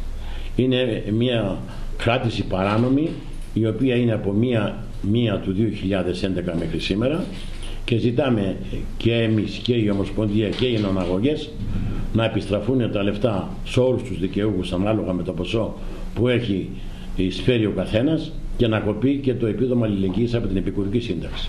Στον αυριανό τύπο είναι ένα άγραφο του Σωματείου μας που αναφέρει αυτό και ένα άγραφο της Ομοσπονδίας που εστάλει στον Υπουργό τον κύριο Πετρόπουλο για να δώσει εντολή να σταματήσει και το επίδομα αλληλεγγύης και η παρακράτηση υπέρ υγείας του 7% από τις υπερικουρικές συντάξεις. Κάτι άλλα τα οποία ακούγονται και συζητιούνται έξω. Τα περί δικηγόρων και τα περί δικαστηρίων και τα περί αιτήσεων Αυτά γίνονται όταν βγαίνουν αποφάσεις δικαστηρίου και δεν υλοποιούνται. Σε περίπτωση που δεν υπάρχουν αποφάσεις δικαστηρίων δεν μπορεί να συντάξεις αίτηση και να ζητάς από το Ταμείο την επιστροφή των οφειλωμένων. Πρέπει να γίνουν όλες οι ενέργειες προς την κυβέρνηση, να ακυρωθούν οι δύο νόμοι που αφορούσαν την εισφορά αλληλεγγύης και το επίδομα υπέρ 7% και τότε να ζητήσουμε από το Ταμείο την επιστροφή των χρημάτων. Όσο για τα αυτά που είπε και ο συνάδελφος Αντιπρόεδρος, με τα πολλών κόπου και βασάνων και με ενέργειες του Σωματείου μας και της Ομοσπονδίας, έστω και σταδιακά άρχισαν να κρίνονται οι οριστικές αποφάσεις. Οι οριστικές αποφάσεις δεν είναι εκείνες που ήταν κάποτε το 70% ε, του θανόντος, αλλά είναι το 50%. Τα ποσά είναι πολύ πολύ μικρά. Έχουμε καλά νέα σε ό,τι αφορά την ε, έκδοση οριστικών συντάξεων για αυτούς που παίρνουν σήμερα προσωρινές, για ποιες ναι, ημερομηνίες, ποιοι εργαζόμενοι. Ναι, είναι; για τις χείρες από το 16 και μετά, οι οποίες παίρνουν προσωρινές συντάξεις, ήδη άρχισαν να βγαίνουν οριστικές συντάξεις. Για τους μόνιμους, τους άλλους, τους εργαζόμενους, τους καινούργιους, μπορούμε να πούμε και αυτό, Κώστα. Είναι, άρχισαν να, θα αρχίσουν να βγαίνουν και αυτές. Μας είχαν πει ότι είχαν αρχίσει, αλλά καθυστέρησαν πάλι γιατί κάποιο πρόβλημα υπάρχει με τον ε, τύπο, με τον περιβόητο τύπο. Αυτά είναι για οριστικές αποφάσεις για χείρες και για τους ενεργεία οι οποίοι βγαίνουν τώρα ή έχουν βγει από το 16 και μετά σύνταξη. Δηλαδή, ε, όπου εφαρμόζεται ο νόμος του Κατρούγκαλου είναι ανάλογα με το ποσό που διατίθεται ή ελπίζουμε ότι θα Δεν υπάρχει. Αυτά είναι σειρά. Όπως έχουν βγει οι συνάδελφοι αυτοί, θα αρχίσουν να τους δουλεύουν και να βγάλουν τις οριστικές συντάξεις. Τώρα, ναι, όπως βγαίνουν, όπως έχουν βγει όλοι με τη σειρά. Αυτοί όλοι τώρα παίρνουν προσωρινές συντάξεις. Αμέσως μετά να βγει το επικουρικό. Εάν δεν έχει απόφαση οριστικής σύνταξης, δεν μπορεί να πάρει επικουρικό. Έγινε το μεγάλο δικαστήριο από την Ομοσπονδία μας και από τα 27 Σωματεία και Ομοσπονδία στις 6 Οκτωβρίου για όλες τις περικοπές που έχουν γίνει στην, στην μισθοδοσία μας και αναμένεται η οριστική απόφαση του δικαστηρίου τέλη, τέλη Φεβρουαρίου με αρχές Μαρτίου. Αν αυτό βγει θα υλοποιηθούν όλα. Αν δεν βγει τότε καταλαβαίνετε ότι θα προχωρήσει η κυβέρνηση με αυτά τα οποία έχει ψηφιστέντα από μία-μία του 19 και από μία-μία του 20. Και πάμε στα γραβενάκια στον Χρήστο το Μίμη. Χρήστο καλησπέρα. Καλησπέρα Φωτεινή, καλησπέρα και στους τηλεθεατές μας. Να ξεκινήσω με μια είδηση η οποία έρχεται από την Δημόσια Επιχείρηση Ίδρυυσης Αποχέτευσης Γρεβενών, η οποία λέει ότι θα προχωρήσει, ότι προχωράει μάλλον στην διακοπή υδροδότησης ακινήτων καταναλωτών της, οι οποίοι οφείλουν σωρευτικά ληξιπρόθεσμες οφειλές άνω, άνω των 300 ευρώ και η συγκεκριμένη οφειλή πρέπει να προέρχεται από τρεις τουλάχιστον ανεξόφλητους λογαριασμούς, αναφέρει και πάνω και περισσότερους, ενώ άλλοι καταναλωτές οι οποίοι έχουν ήδη ε, μπει στη διαδικασία της ρύθμισης δεν τους αφορά και μας επισημαίνουν ότι η υδροδότηση των συγκεκριμένων ακινήτων θα επανέρχεται μόνο μετά από εξόφληση ή ρύθμιση των ληξιπρόθεσμων οφειλών. Και να πάω επίσης σε μια είδηση που έχει να κάνει με τα ε, των εκδηλώσεων με την επωνυμία ΑΠΟΚΡΑ 2018 που πραγματοποιεί ο Δήμος Γρεβενών σε συνεργασία με την Περιφέρεια. Υπήρξε πριν από λίγες ώρες μια συνέντευξη τύπου. Ε, παρόντες ήταν ο Δήμαρχος Γρεβενών, ο Γιώργος Δασταμάνης, ο Αντιπεριφερειάρχης ο Βαγγέλης ο Σημαδράκος, ο θεματικός Αντιπεριφερειάρχης ο Αντώνης Δασκαλόπουλος, ο Αντιδήμαρχος Χρήστος Πέτρου αλλά και ο πρόεδρος της τοπικής κοινότητας Στέριος Πουρνάρας και όλοι μαζί ε, μίλησαν, υπάρχει ήδη ανέβει το βίντεο, έχει ήδη ανέβει το βίντεο στο κανάλι μας Γκρεβενά TV, μπορείτε να το δείτε και να το πάρετε να το επεξεργαστείτε βεβαίως. βεβαίως. Όλοι συμφώνησαν ε, στο ότι θα πρέπει για να έχουν επιτυχία συγκεκριμένες εκδηλώσεις τις οποίες χαρακτήρισα σαν τις καλύτερες των τελευταίων χρόνων, θα πρέπει να υπάρξει η ανάλογη συμμετοχή τόσο από τους νεολαίους αλλά και από τους μεγαλύτερους και παρότριναν έτσι τον κόσμο να βγει μετά την Πυκνοπέμπτη στην κεντρική πλατεία της πόλης, διότι καθημερινά θα υπάρχουν και διαφορετικές εκδηλώσεις, έτσι για να διασκεδάσουν και να συμμετάσχουν και αυτοί στο αποκρά, αποκρά, το σωστό, 2018 φωτεινή. Μάλιστα. Αυτά, Χρήστο. Αυτά για την ώρα και βέβαια υπάρχουν και άλλες πολλές ε, κοπές πιτών τις επόμενες ημέρες. Θα έχουμε να τα λέμε σε Ωραία. επόμενες συνδέσεις μας. Πολύ, ωρα- πολύ ωραία από την Τσικνοπέμπτη και ύστερα τουλάχιστον λίγο ο κόσμος να το ρίξει έξω, να διασκεδάσει. Να σε ευχαριστήσω πολύ. Καλό σου απόγευμα, Χρήστο. Ε, επιστρέφουμε εδώ στο στούντιο της Ώρας Εχμής. Έχω δίπλα μου μία κυρία που ήθελα πολύ να την γνωρίσω από κοντά. Ε, είναι η κυρία Διαμάντο Κριτικού και είναι η πρόεδρος του, του Αγροτικού Συλλόγου εκεί του Αμιντέου. Ε, δυναμικό άτομο, μια δυναμική γυναίκα, την βλέπουμε στα μπλόκα, μιας και είναι και μέλος της Γραμματείας της Πανελλαδικής Επιτροπής Μπλόκων. Να την γνωρίσουμε. Καλησπέρα κυρία Κριτικού. Ε, γεια σας κυρία Ηλιάδου, ευχαριστώ πάρα πολύ που μου δίνετε τη δυνατότητα να πούμε κάποια πράγματα όσον αφορά και αυτό το κομμάτι. Ε, κυρία Κριτικού, να ξεκινήσουμε, να, να μπούμε απευθείας στα βαθιά. Ε, το συλλαλητήριο της Αγκρότικα. Ξεκινήσαμε με τα, μάλλον όχι μπλόκα, είχαν παραταχθεί τα τρακτέρ, είχατε παραταχθεί εκεί οι αγρότες και κάνατε, υπήρξαν οι σχετικές διαβουλεύσεις και αποφασίσατε ε, να παρευρεθείτε όλοι μαζί στο συλλαλητήριο στην Αγρότικα. Πριν όμως, εγώ μέσα από την δουλειά μου παρατήρησα ότι υπάρχει μία διάσπαση στο κίνημά σας, αν μπορούμε να το πούμε έτσι, αν είναι δόκιμος ο όρος. Το λέτε πάρα πολύ κομψά. Θα μου επιτρέψετε να κάνω μία αναδρομή. Ε, μπλόκα, ιστορία μπλόκα στον αγροτικό κόσμο. Ε, σχεδόν καθιέρωση κάθε χρόνο. Πράγμα που σημαίνει τι, ότι ο τρόπος αυτός διεκδίκησης και οι αγωνίες μας εκφράζονται με αυτόν τον τρόπο. Μπορούμε και τις εκφράζουμε έτσι. Από το 2008, 9, 10, 11, 12, 13, 14 μέχρι και σήμερα είμαστε πάνω από πέντε μήνες με αυτή τη διαδικασία συγκεντρωτικά έξω στους δρόμους. Το 2016 υπήρξε η κορύφωση ε, των μπλόκων με πάρα πολύ κόσμο Μεγάλη έξω, με, συμμετοχή. ναι, με πολλά τρακτέρ, με πολλούς ανθρώπους. Από εκεί και πέρα ξέρετε ότι όλα τα πράγματα κάνουν τον κύκλο τους. Και αρχίζει κάτι. Ναι, όταν, όταν υπάρχει κορύφωση, από εκεί και πέρα υπάρχει φθορά, η ακμή και η παρακμή. Στα, σε τέτοιου είδους κινήματα, ε, όπως είναι το αγροτικό, ε, μια και λέτε το είπα κομψά, να, να συνεχίσω Ναι. έτσι, να το λέω κομψά. Ε, το να υπάρξει διάσπαση, πάει να πει ότι υπήρξαν και κάποια δεδομένα απτά, τα οποία ικανοποιούν ε, κάποιους από τους ε, συναγωνιστές σας, να το πω. Κοιτάξτε να δείτε. Γι' αυτό, συγγνώμη για να ολοκληρώσω το ερώτημα, βεβαίως. γι' αυτό και η συμμετοχή στην αγρότικα δεν ήταν η αναμενόμενη. Γιατί στην αγρότικα δεν είδαμε μεγάλη συμμετοχή. Όχι, ήμασταν πάνω από 1.500 άνθρωποι και εμείς θεωρούμε ότι είναι αρκετά, φυσικά θα μπορούσαν να είναι πολύ μεγαλύτεροι, πάρα πολύ μεγαλύτεροι. Ήταν μια αξιοπρεπή παρουσία, ένα αξιοπρεπή συλλαλητήριο, ε, δεδομένου ότι ο κόσμος... Ήταν, ε, ναι. ήταν όμως το αναμενόμενο Ε, για εσάς. Για τα... Αν ήταν ναι. αναμενόμενη η συμμετοχή αυτό. Αναμενόμενη συμμετοχή, να σας πω ότι μ, ήταν και λίγο περισσότερη από αυτή που περιμέναμε λόγω του συλλαλητηρίου της επόμενης ημέρας, που είχε πολύ μεγάλη διάσταση και βέβαια εντάξει και πάρα πολλοί από εμάς θα θέλαμε να είμαστε και εκεί και εκεί ταυτοχρόνως. Ε, με μια αγκρότικα η οποία εν ώψη νέων ε, προγραμμάτων που τρέχουν ε, και να ε, μία όρεξη έτσι ο κόσμος να πάει να δει Λέτε ότι η μηχανήματα και, αγκρότικα αφορά και στη Τέλος πάντων, δουλειά σας, δεν, θε- ναι, οπότε- δεν θέλω να δικαιολογήσω καταστάσεις. Ναι, ήταν μια αξιοπρεπή παρουσία. Μην ξεχνάτε ότι ο κόσμο, η Πανελλαδική Επιτροπή των Μπλόκων είναι από τη μία άκρη της Ελλάδα ως την άλλη. Ε, δεν μπορεί τώρα ο κριτικός εύκολα σε ένα συλλαλητήριο στη Θεσσαλονίκη. Είχαμε όμως ανθρώπους και από την Πελοπόννησο και από την Οριστιάδα. Δηλαδή υπήρχε, υπήρχε έστω και. Πώς να το πω. ενδεικτ- ε, μ, Οργανωμένα κομμάτια Ωστόσο, είχαν παρα- υπήρξε όμως η κάμψη που μας είπατε. Σαφώς, όπως σε όλα τα πράγματα. Έρχεται η κάμψη και έρχεται από πολλούς και διαφόρους λόγους. Δηλαδή, ε, σίγουρα κάποιοι δεν θέλουν ενωμένο το αγροτικό κίνημα. Έτσι. Το 2016 αυτό που μπορέσαμε και καταφέραμε ουσιαστικά ήταν να οργανωθούμε ως αγρότες. Να υπάρχει αυτή η επικοινωνία. Γιατί παλιότερα τα μπλόκα ήταν κατά τόπους. Οι διεκδικήσεις ήταν κατά τόπους. Σύμφωνα με τη γεωγραφία του κάθε τόπου, ε, στηνόταν και μπλόκο. Τι πρόβλημα έχουμε εμείς εδώ, εμείς διεκδικούμε ναι. αυτό. Τι πρόβλημα υπάρχει παρακάτω, αυτό.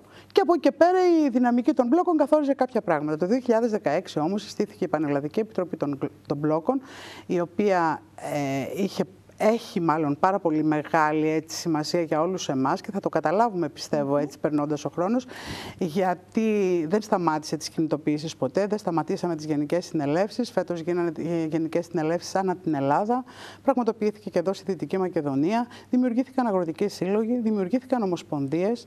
Ε, Αυτά είναι τα καλά, τον τα καλά. σύλλογοι και τα, τα υπόλοιπα πιστεύω ότι εντάξει, είπα Γιατί όμως λέτε υπήρξε η διάσπαση, λίγο να, να το δούμε. Ναι. Τα συμφέροντά σας είναι κοινά. Δηλαδή, πώς, πώς γίνεται...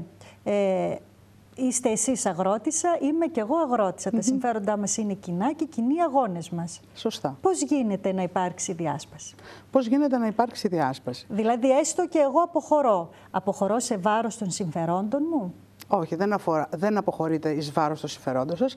Αποχωρείτε ελπίζοντας σε κάτι άλλο που εσείς θα το καρποθείτε καλύτερα από τους υπολείπους. Ξέρετε ότι και η παρεμβάση στο Διέρε και Βασίλευε επικρατεί πολύ, παντού. Και όταν υπάρχει, έρχεται αυτή η φθορά. Από εκεί και πέρα, ε, υπήρξαν, δεν μπορώ να κρύψω, ας πούμε, ότι υπήρξε μία αντίδραση όσον αφορά πρόσωπα, κόμματα, λέγονται διάφορα. Λέγονται διάφορα. Δεν ε, στεκόμαστε εκεί όμως. Η αλήθεια είναι ότι ως αγροτικό κίνημα, ως Πανελλαδική Επιτροπή των Μπλόκων, ε, εμείς καλούμε όλους τους αγρότες κοντά. Θέλουμε όποιος έχει αντίθετη άποψη πραγματικά να μας πει πού διαφωνεί με τα αιτήματα της Πανελλαδικής Επιτροπής των Μπλόκων για να μπορέσω να καταλάβω και εγώ αυτό που με ρωτήσατε. Τι είναι αυτό που μας χωρίζει; Δεν ξέρω αν κάποιοι άνθρωποι, κάποιοι αγρότες ε, έχουν διαφορετική γνώμη από τα αιτήματα που έχουμε. Θα μας τα πείτε ναι, τα αιτήματα. Βεβαίως. Αυτό. Ε, πριν από, είχατε, η συνάντηση, είχατε χθες συνάντηση με τον Υπουργό στην Αθήνα. Ναι. Ε, διήρκησε δυόμιση ώρες. Ναι. Τα αποτελέσματα σε καλό κλίμα. Οφείλω να ομολογήσω Σε πως καλό ναι. κλίμα. Ε, τα αποτελέσματα τα αποτελέσματα της συνάντησης. Βέβαια, αν κρίνουμε από το ότι αποχωρείται από, τα, από τους τόπους εκεί των μπλόκων, πάει να πει ότι είναι ενθαρρυντικά. Να σας πω. Ε, αυτή τη φορά και λόγω όλων αυτών που αναφέραμε πριν, είπαμε ότι θα βγάλουμε τα τρακτέρ σημεολογικά στους δρόμους για να δημιουργήσουμε ε, κέντρα ε, αγροτών στα οποία θα συζητηθούν προβλήματα και θα πάρθουν αποφάσεις και θα δούμε πώς θα κινηθούμε. Ε, κυρία Κρητικού, ναι. χίλια συγγνώμη ναι. που σας διακόπτω. Ναι. Πρέπει να περάσουμε σε διάλειμμα. Δεν, θέλω, δεν θέλω να διακόψω. Ε, είναι πρόβλημα. πολύ ενδιαφέροντα όλα όσα θέλετε να μας πείτε, να αναπτύξουμε την συνάντηση με τον Υπουργό. Οπότε να πάμε γρήγορα σε διάλειμμα και να μας πείτε τα αποτελέσματα μετά διάλειμμα και επιστρέφουμε.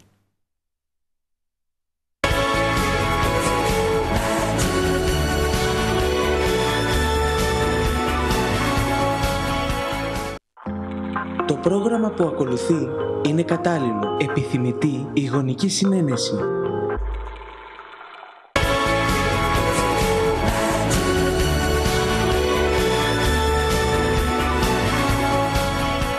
Επιστροφή εδώ στο στούντιο της ώρας εχμή είναι δίπλα μου η κυρία Διαμάντο Κριτικού, η οποία είναι πρόεδρος του Αγροτικού Συλλόγου Αμυντέου και μιλούσαμε για την συνάντηση ε, που είχαν χθες, που είχε το, η αντιπροσωπεία του Πανελλα, της Πανελλαδικής Επιτροπής ε, των Μπλόκων. Ε, πριν περάσουμε στα, στα της συνάντησης, τι ακριβώς είναι η Πανελλαδική Επιτροπή Μπλόκων και πώς ενεργεί; Η Πανελλαδική Επιτροπή των Μπλόκων, είπαμε το 2016, ε, δημιούργησε το αγροτικό κίνημα. 15 εκπρόσωποι από όλη την Ελλάδα, εκπροσωπώντας όλες τις γεωγραφικές περιοχές.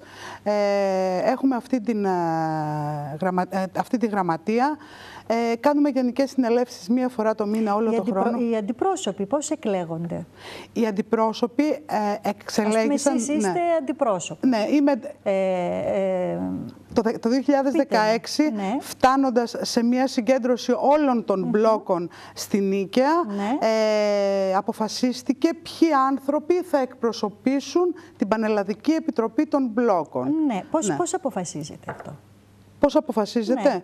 Ε, σύμφωνα με τη γεωγραφική θέση του καθενός και εκπροσωπώντας, ας πούμε, ε, τους νομούς, τις περιφέρειες και γενικότερα, ναι.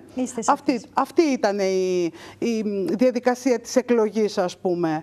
Ε, και φυσικά αυτό έγινε μέσα σε ακροατήριο, στο οποίο ανακοινώθηκε και δεν υπήρχαν διαφωνίες και όποιος άλλος ήθελε έγιναν αλλαγές στα πρόσωπα και έγινε δημοκρατικά διανατάσεως ε, του χεριού ας πούμε με τον παλιό τρόπο γιατί δεν υπήρχε δυνατότητα άλλη ε, και έτσι έμεινε και έτσι παρέμεινε. Και ούτε υπάρχει ε, ας πούμε αντίρρηση στο να έρθει να αλλάξει κάποιος να μπει να ενταχθεί μέσα σε αυτή την επιτροπή.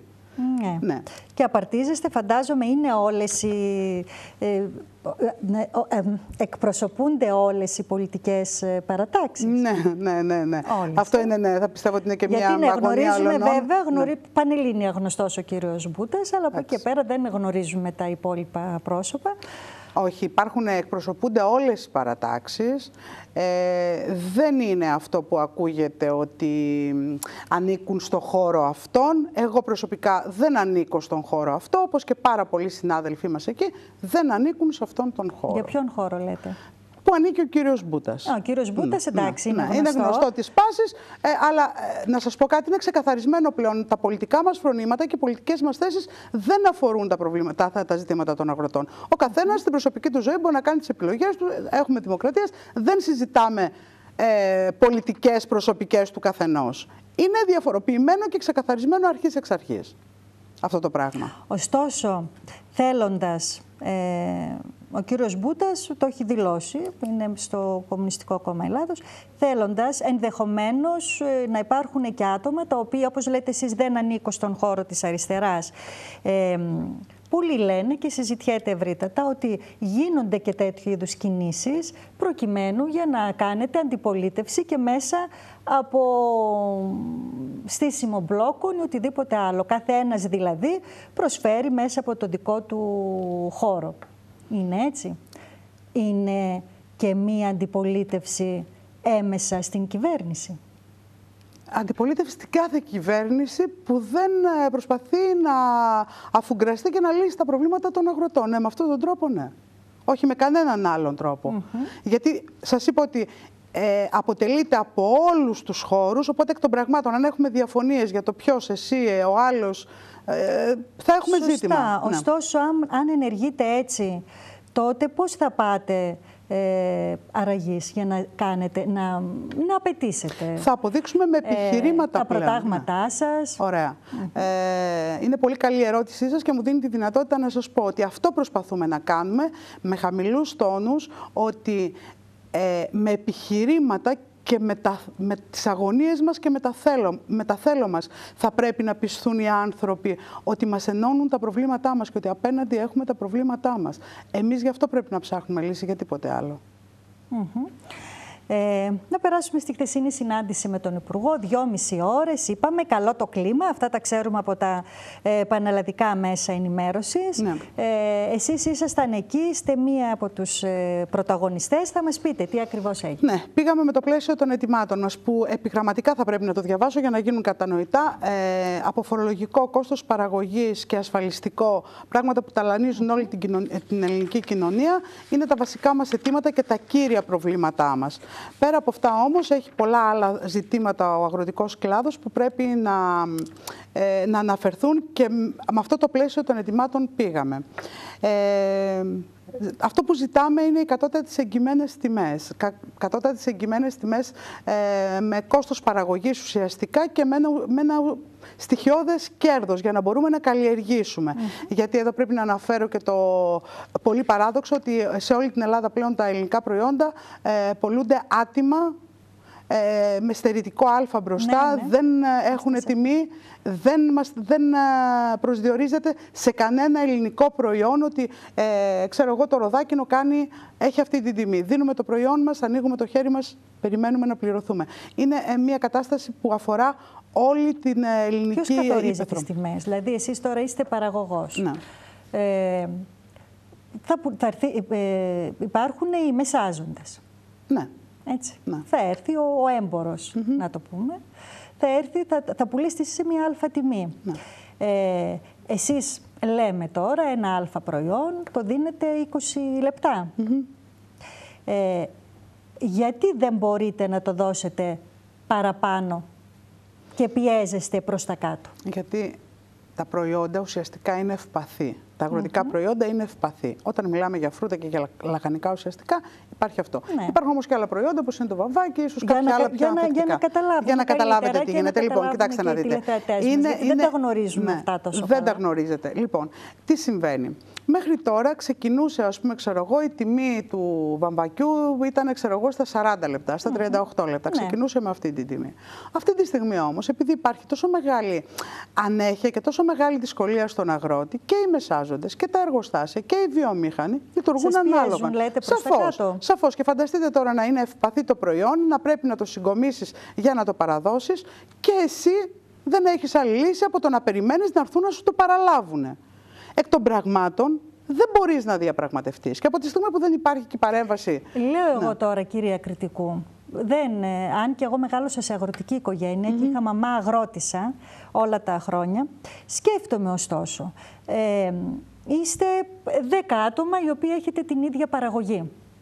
Ε, λέω, αντί να στείναμε μπλόκα στους δρόμους, μήπως να ξεκινούσαμε στο να πιέσουμε εμείς οι δέκα με κάποιο τρόπο τον μεσάζοντα; Πώς; Με τις ομάδες παραγωγών, δηλαδή, με τους συνεταιρισμούς. Ναι, να καθορίσετε εσείς την Έτσι. τιμή σας, την κατώτερη, και να μην τα περιμένετε όλα από το κράτος. Αυτό όχι, λέω. δεν, περιμένουμε, δεν περιμένουμε πράγματα σε από το κράτο. Σε ό,τι έχει να κάνει με την κατώτερη τιμή. Ναι, να σας πω κάτι.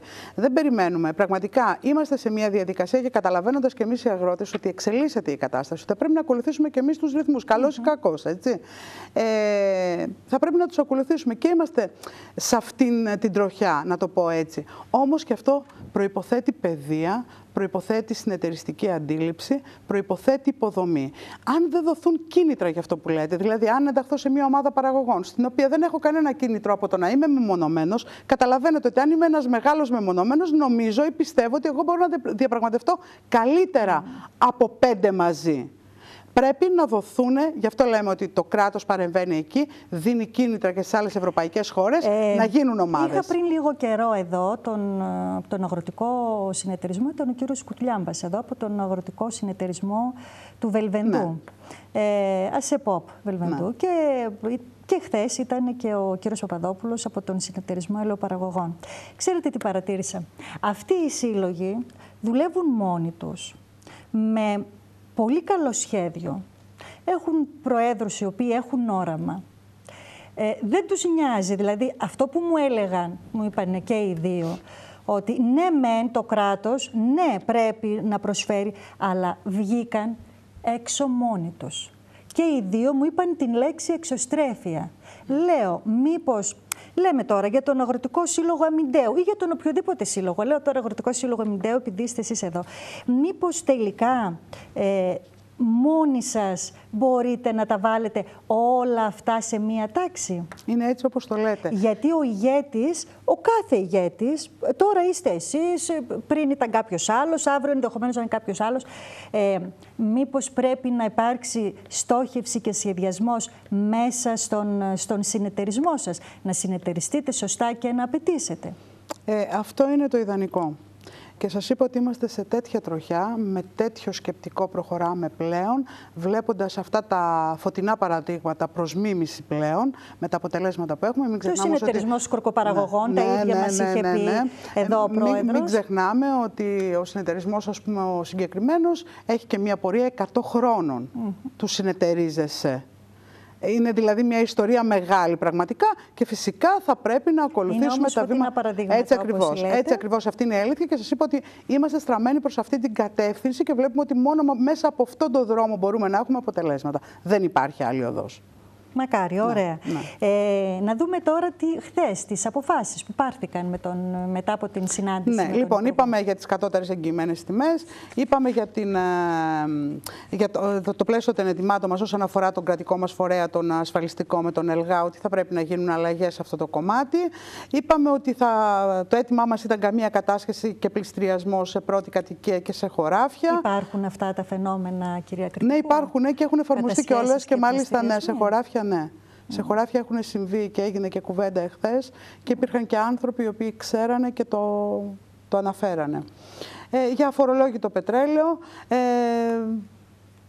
Κατάργηση των χαρατσιών ζητάμε, ενίσχυση της κτηνοτροφίας. Για τον έμφυα, νομίζω πήρατε την διαβεβαίωση ότι δεν θα υπάρχει. Την πήραμε, την πήραμε τη διαβεβαίωση μετά από τη διεκδίκηση. Γιατί ο έμφυα ήταν ε, ε, μια ερχόμενη και αυτή έτσι ε, επιβάρυνση, η οποία μιλούσε για 12 ευρώ. Ναι. Γιατί είναι πράγματα ψηφισμένα ναι. αυτά. Δεν είναι ότι τα λέγαμε για να τα πούμε. Καλό αυτό. Ε, κτηνοτροφία μεγάλο πρόβλημα. Επιγραμματικά βέβαια τα λέω με σταυλικές εγκαταστάσεις, με σήμανση ζώου και πολλά άλλα να ε, γίνουν, ζητάμε να βοηθηθούμε και σε έργα υποδομής, γιατί ξέρετε ότι είναι και, και αυτό ναι. ένα μεγάλο πρόβλημα. Την κατάργηση του φόρου κρασιού και έχουμε και ένα πρόβλημα, με, τα, ναι, και ένα πρόβλημα με, τα με τα αγροτοδικεία. Λοιπόν, ναι. ε, έγινε μια κουβέντα πραγματικά πάνω σε αυτό το πλαίσιο ε, γίνανε εισηγήσεις. Ήμασταν ε, έξι εκπρόσωποι από την Πανελλαδική των μπλόκων με, συγκεκριμένα, με συγκεκριμένες θέσεις για κάθε τόπο, για το βαμβάκι, για το ροδάκινο, για τα καπνά, για τα τέφλα. Έγιναν όλες οι τοποθετήσεις και από τους έξι, με εισηγητή τον κύριο Μπούτα που ε, συζήτησε και εισηγήθηκε τα, τα αιτήματά μας. Οι απαντήσεις του Υπουργού έτσι εν, ε, εν ολίγης να πω, ότι μας θέσπισε το ακατάσχετο που είναι βασικό για μας. Σημαντικό. Ε, ναι, γιατί ξέρετε ότι ο αγρότης πληρώνεται μία φορά τον χρόνο, ε, ή δύο το πολύ. Εκ των πραγμάτων έχοντας μόνο 1.250 ευρώ αφορολόγητο, είναι πάρα πολύ δύσκολο να πάει λεφτά σπίτι του κρατώντας ασφαλιστικές εισφορές, ελγά και ό,τι άλλες υποχρεώσεις υπάρχουν. Εκ των πραγμάτων έπρεπε να γίνει. Υποσχέθηκε ο Υπουργός ότι θα το κάνει 15.000 ευρώ. Δεν θα επιβάλλει άλλο φόρο έμφυα στα χωράφια μας. Ήταν μια δέσμευση. Έρχεται και είναι ψηφισμένο το τέλος ε, ε, ίδρευσης, ε, άρδευσης για μας τους αγρότες, το πράσινο τέλος, το οποίο δεν είναι λίγα χρήματα. Ναι, ναι. Μας υποσχέθηκε και εδώ ότι θα το πάει πίσω πέντε χρόνια, βέβαια είναι ψηφισμένο, αλλά μιλάνε για κόστος, οπότε εκ των πραγμάτων θα δουν πώς θα το διαχειριστούν. Αυτή ήταν η υπόσχεσή του. Είπε ότι το 50% των ε, επιλαχόντων νέων αγροτών θα τακτοποιηθεί και θα μπορέσει να ενταχθεί στο πρόγραμμα. Για τους υπόλοιπους που θα μείνουν έξω μας είπε ότι θα έχουν ιδιαίτερη μεταχείριση και ιδιαίτερα προνόμια στα σχέδια βελτίωσης. Εμείς ε, σταθήκαμε όμως ότι δεν μπορεί, γιατί κάνοντας κάποιος μια αίτηση χάνει το δικαίωμα να ξανακάνει αίτηση από τη στιγμή που κάνει δήλωση καλλιέργειας. Ε, ε, συζητήσαμε για τα, είπε ότι θα επιστρέψει το πετρέλαιο του 2015 και του 2016. Είναι 42 εκατομμύρια ευρώ, θα τα επιστρέψει και αυτά. Ε, Μας είπε ότι θα εντάξει και το πρασίνισμα στην κάρτα του αγρότη να δίνεται μία ε, μεγαλύτερη δυνατότητα οικονομική. Ε, τι άλλο, επέκταση του, ερ, του εργόσιμου και στους μετακλητούς. Εδώ είναι ένα πολύ μεγάλο κομμάτι όμως, δηλαδή δεν ικανοποιεί κανέναν μας γιατί θα πρέπει να ανοίξει πάρα πολύ ένας μετακλητός, έρχεται για συγκεκριμένες ώρες. Αυτοί που έρχονται με βίζα δεν είναι δυνατόν να μπορούμε να τους κολλήσουμε εργόσιμο και οπότε εκ των πραγμάτων η δαπάνη ας πούμε, για μας δεν μπορεί να φαίνεται. Ε, δεν θα περικοπεί, μας είπε η αγροτική σύνταξη στους ε, γεννηθείς το 49 ε, και θα μπορούν να ναι. συνεχίσουν να είναι στο αγροτικό, να, να παίρνουν τουλάχιστον τις επιδοτήσεις τους. Συζητήσαμε για, την, ε, για το πώς, τέλος πάντων, προτείνουμε να γίνει η διεκδίκηση για τις επιδοτήσεις ε, ενώπιση της νέας ΚΑΠ. Έγινε μια κουβέντα, Υπήρχε, υπήρχε, υπήρχε, διάθεση, υπήρχε διάθεση. Ερχόμαστε τώρα στο αποτέλεσμα και αν πραγματικά αυτά που δεσμεύτηκαν τηρηθούν. Αν τηρηθούν, να φανταστώ ότι ε, δεν θα δούμε τουλάχιστον στο άμεσο μέλλον αγρότες στους δρόμους. Ε, δεν θα σταματήσει ο αγώνας μας. Κοιτάξτε να δείτε, αυτές είναι ανάσες. Εμείς είμαστε εκεί για την επιβίωσή μας. Για την, για, για, για την επιβίωση ε, των ανθρώπων που πραγματικά είναι στο μόχθο. Ε, και τέλος πάντων, και αυτοί οι πολύ μεγάλοι αγρότες και όλοι αυτοί ας πούμε, που νομίζουν ότι μπορούν ίσως λίγο καλύτερα, είναι λίγο καλύτερα τα πράγματα, και αυτοί έχουν μεγάλες φουρτούνες οι άνθρωποι και αυτοί είναι σε μεγάλη δυσκολία. Όμως, επειδή τα αποτελέσματα δείχνουν το εξής. Συγγνώμη που ναι. σας διακόπτω. Ναι. Τηλεφώνημα και δεν ναι. θέλω να φύγουμε από ναι. την. Ναι, επειδή μιλήσαμε πριν για την Πανελλήνια Επιτροπή Μπλόκων. Ε, Ένα συνάδελφός σας ρωτάει πώς μπορεί να μπει και αυτό στην Επιτροπή Αγροτικών Μπλόκων.